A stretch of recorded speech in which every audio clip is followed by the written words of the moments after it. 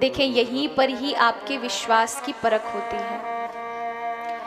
दुख में आप कितना भगवान पर भरोसा रखे हो।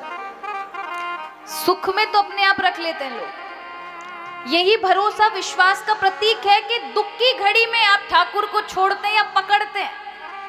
नदी का विशाल बहाव हो और उस समय कोई जंजीर को पकड़ने के लिए ना पकड़कर छोड़ दे तो क्या होगा? बह जाएगा। बचने का कोई नामो निशान नहीं है। और बहाव में तो जंजीर को कस के पकड़ना चाहिए। इतना कस के कि नदी का बहाव बहाव ना सके बहा ही ना लेकिन लोग दुख के क्षणों में ही प्रभु को भूल जाया करते हैं। दुख के क्षणों में आजकल तो लोग भगवान बदल देते हैं महाराज। एक पे काम न बनो तो दूसरी जगह पहुँच जाएँगे। इनसे काम नहीं बन रहा है तो अब दुर्गा जी को मनाएँगे।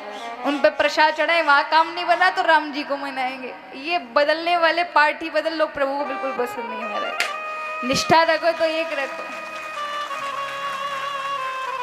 निष्ठा रखो तो एक रखो।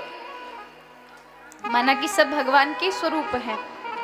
लेकिन एक साध है, सब सदै सब साध है, सब जाए। एक माना कि स्त्री प्रेम सबसे करती है, आपका, मैं यहाँ का उदाहरण देती हूँ।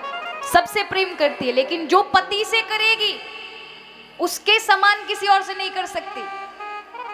क्योंकि वो उसके हृदय में बसता है।